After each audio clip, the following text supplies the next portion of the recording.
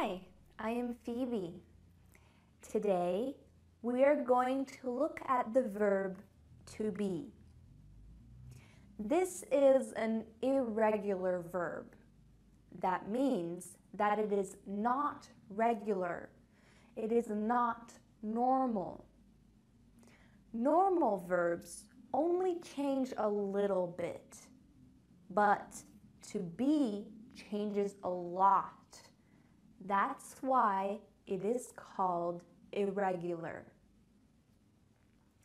Let me show you.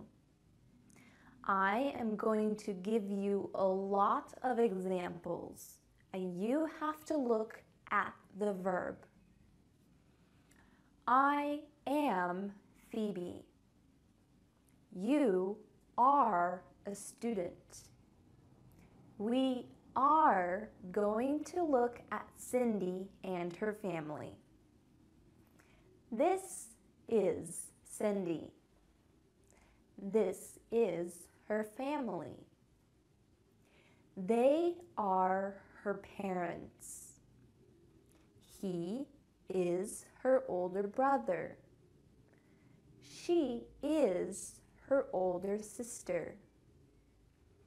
That is her dog, Rocky. These are her grandparents. That was her grandmother. That was her grandfather. They were her grandparents.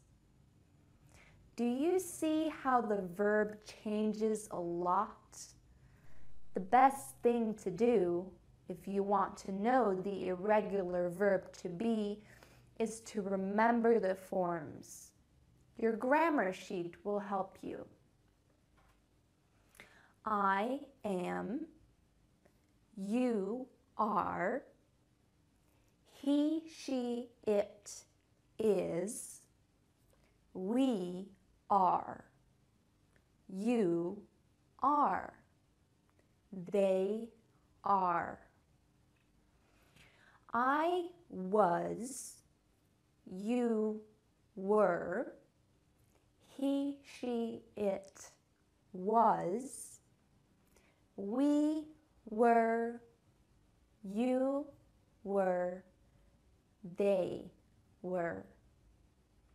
Now it's time for you to do the exercises.